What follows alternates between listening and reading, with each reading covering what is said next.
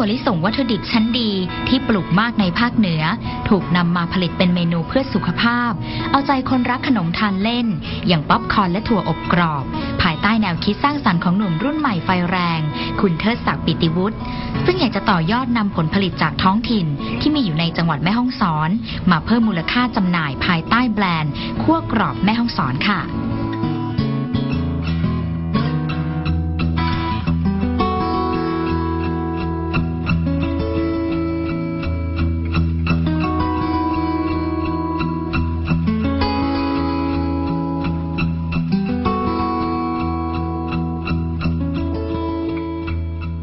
ผมทำธุรกิจเกี่ยวกับธัญพืชอบกรอบ เรียกว่าจะแบรนด์ชื่อแบรนด์ขั้วกรอบนะครับ ก็คือธุรกิจนี้ก็เริ่มมาตั้งแต่ประมาณประมาณ 6 ปีได้ละเริ่มมาตั้งแต่ 6 ปีได้ละแล้วก็คือการต่อยอดมาจากโอท็อปคือนำสินค้าที่มีในท้องถิ่น ในจังหวัดแม่ฮ่องสอนนี่แหละครับ แต่เป็นสินค้าที่คนอาจจะไม่ได้มองถึงตอนหน้าตอนนั้น เอามา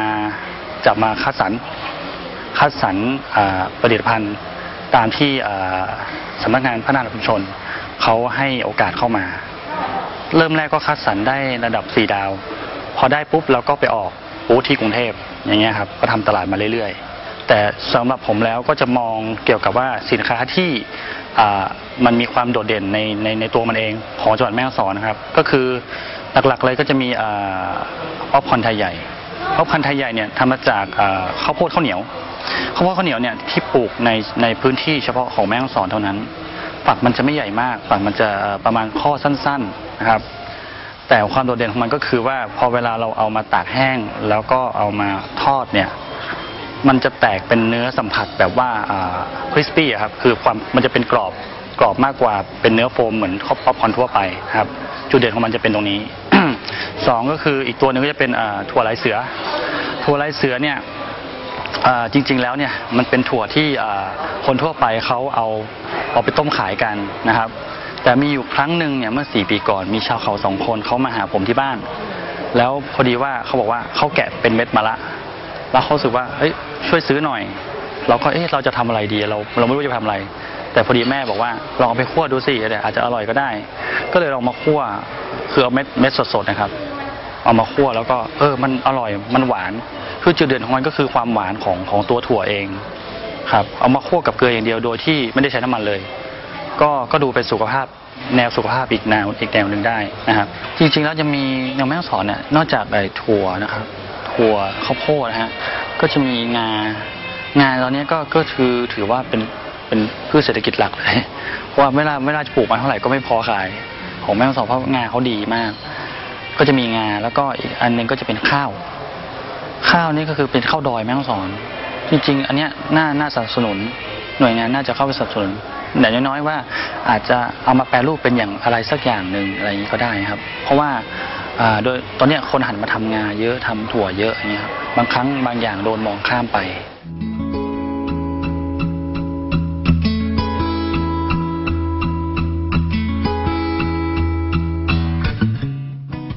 โดยปีนี้คั่วกรอบแม่ห้องสอนจะถูกนำไปจัดแสดงภายในงานล้านนาเอ็กซ์โปร 2016 ในโซน Northern Food Valley หรืออาหารเกษตรแปรรูปด้วยค่ะ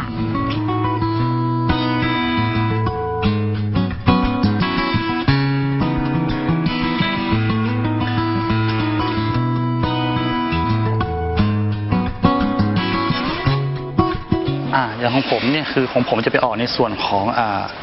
อ่าอ่า Northern Food Northern Food เอ่อ Northern Food Valley ครับเป็นส่วนของสภาอุตสาหกรรมจังหวัดเชียงใหม่เขาเป็นแม่งานจัด อันนี้จะเป็นในส่วนของอาหารภาคเหนือทั้งหมดเลยนะครับ ก็จะเป็นแนวสุขภาพ แนวท้องถิ่นของแต่ละจังหวัดเนี่ยมารวมกันในงานนี้หมดเลยส่วนของผมจะเป็นออกแนวแบบว่าหนึ่งสุขhealthy หน่อย อย่างถั่วลายเสือเนี่ยมันไม่ได้ใช้น้ำมัน มันใช้กรรมวิธีในการคั่วเตาถ่าน โดยแบบมองเลยว่าเป็นภูมิปัญญาท้องถิ่นธีมของบูธผมก็จะเป็นลักษณะว่าอออกจะเป็นแบบอ่าดูแบบ healthy healthy หน่อย แล้วก็โชว์ผลิตโยโชว์ผลิตภัณฑ์พร้อมกับอ่าวัตถุดิบอยู่อยู่อยู่อยู่ในบูธด้วยอย่างเงี้ยครับบางครั้งที่ลูกค้าเข้ามาดูว่าเอ้ยอยากเห็นตัวฝักนะ ถั่วลายเสือเป็นยังไงอะไรอันนี้เราจะไปโชว์ในงานด้วยอย่างเงี้ยครับ หรือว่าผมเมื่อเมื่อสองสามเดือนก่อน ผมก็ลงไปปลูกเองเพราะด้วยที่ว่าวัตถุดิบมันแพงขึ้นเนาะ เราก็เลยเออหาวิธีว่าเออลองปลูกเองด้วย อย่างเงี้ยครับ แล้วก็พยายามหาจุดเด่นของมันใหม่ ด้วยที่ว่าเผื่อว่าอาจจะมีวิธีที่ทำให้ถั่วลายเสือปกติเนี่ยมันหวานขึ้นกว่าเดิมก็ได้อจริง ๆ แล้วคือมันมีจุดเด่นของมันอยู่แล้วในตัวสินค้านะครับด้วยที่ว่าอยังมีคนทำน้อยอยู่นะครับ แล้วอตอนเนี้ยถามว่าเป็นที่ต้องการของในตลาดก็พอสมควร แต่ด้วยที่ว่าวัตถุดิบมันค่อนข้างมีน้อย พราะแม่ฮ่องสอนเนี่ยเป็นเป็นจังหวัดที่ปลูกพืชหมุนเวียนเขาปลูกข้าวเสร็จปลูกถั่วปลูกกระเทียมอย่างเงี้ยฮะเขาจะไม่ได้ปลูกทั้งปีอ่าส่วนมากลูกค้าที่ที่เขามาเนี่ยแล้วเขาชิมเนาะเราต้องให้เขาชิมก่อนพอเขาชิมแล้วเขาโอเคครับเขาก็จะออเดอร์หรืออะไรอย่างเงี้ยอีกทีหนึ่งอย่างเงี้ยครับ ส่วนเอ่อไม่ใช่อีกตัวหนึ่งอย่างข้าวโพดเนี่ยครับข้าวโพดข้าวเหนียวเนี่ยส่วนมากจะเป็นลูกค้าผู้หญิง ถ้าที่ผมสังเกตมานะครับ ดูตอนแรกเหมือนว่าเอ้ยผู้หญิงชอบอาหารสุขภาพนะ จริง ๆ แล้วอะเขาอะชอบอะไรที่มันแบบสึกว่ามันมันมันทานแล้วเพลินๆเป็นอาเป็นอาหารแบบจุกจิกกินเล่นมากกว่า อย่างเงี้ยครับ ส่วนมากผู้ชายก็จะชอบเป็นถั่วลายเสือซะมากกว่า จัดมาสี่ปีนี้รู้สึกว่าดีขึ้นกว่าเดิมทุกปีนะครับ ดีขึ้นมากกว่าเดิมนะครับ เพราะว่าจัดปีแรกเนี่ยเหมือนถ้าเทียบจากยอดขายดีกว่ายอดขายปีแรกก็ยังคนยังไม่ค่อยรู้เท่าไหร่ คนเชียงใหม่ยังไม่ค่อยเดินเท่าไหร่ แต่พอปีที่สองปุ๊บคนเชียงใหม่เดินเยอะขึ้น ขอโทษนะครับ คือยอดขายดีกว่ากรุงเทพอีกอ่าเพราะเหมือนกำลังซื้อคนเชียงใหม่ทั้งต่างชาติคนจีนก็อยู่มาเยอะ อย่างเงี้ยครับ แล้วการจัดงานรูปแบบของเขาเขาประชาสัมพันธ์ดี อย่างเงี้ยฮะแล้วคนมีกำลังซื้อ พูดได้เลยว่าคนเชียงใหม่มีกำลังซื้อ แล้วก็คือยอดขายมันก็เลยทำให้ยอดขายหรืออธุรกิจหรือการคือมันเติบโตกันไปหมด แม้ว่าเราเราเอามาแปรรูปใช่ไหมคนปลูกก็ดีใจ เพราะเราซื้อเขามาเยอะขึ้นอย่างเงี้ยมันก็ส่งผลส่งผลถึงกันหมดเป็นทอดๆไป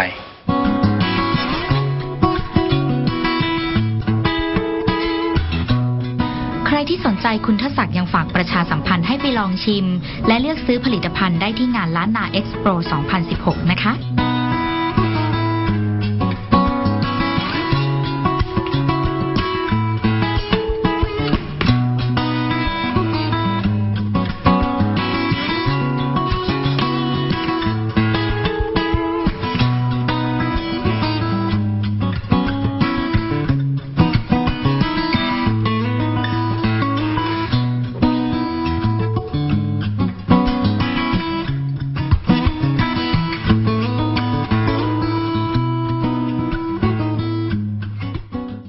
จริงๆแล้วเนี่ยในงานลานาเอ็กซ์โปเนี่ยมันไม่ใช่มีเฉพาะอาหารนะครับ มันก็จะมีทั้งอของตกแต่งอของใช้เสื้อผ้าที่มีคุณภาพที่ทางส่วนราชการหรือหน่วยงานแต่ละหน่วยงานเนี่ยเขาคัดมาแล้วเรียบร้อยนะครับ หรือรวมไปทั้งสินค้าสุขภาพนะฮะเช่นครีมสบู่เครื่องสำอางเนี่ยอันนี้ก็คัดมาหมดเรียบร้อยของในโซนของจังหวัดสี่จังหวัดภาคเหนือตอนบนครับ ล้วนแล้วแต่ว่าน่าสนใจทั้งนั้น จริง ๆ ก็ถ้ามีโอกาสก็เชิญมามาร่วมงานกันได้นะครับหกงานจะมีวันที่ 30 ถึงวันที่ 6 กรกฎาคมครับผมดูแล้วว่างานนี้เหมือนเริ่มมีการเชิญต่างชาติมาด้วยเหมือนมีการมาแมทชิ่งอ่ามีการมาแมทชิ่งคือโดยการที่ว่ากรม DIDP เอ้ยไอ้กรมพัฒนาธุรกิจการค้านะครับแล้วก็กรมส่งออกเขาเชื่อมกันหมดอันนั้นเขาก็พาไบเออร์มามาเดินดูสินค้าในงานอะไรอย่างเงี้ยฮะ อย่างปีที่แล้วก็มี แต่ปีนี้ก็ข้าได้ข่าวว่ามีอีกฮะเขาก็จากญี่ปุ่นด้วยจากอ่าอะไรอะมาเลเซียอะไรอย่างเงี้ยครับเขาก็พามาเยอะ นี่เราก็คาดหวังว่าหนึ่งเราได้ได้เอ่อได้ลูกค้าในงานนะสองคืออาจจะถูกใจลูกค้าต่างชาติด้วยอย่างเงี้ยครับ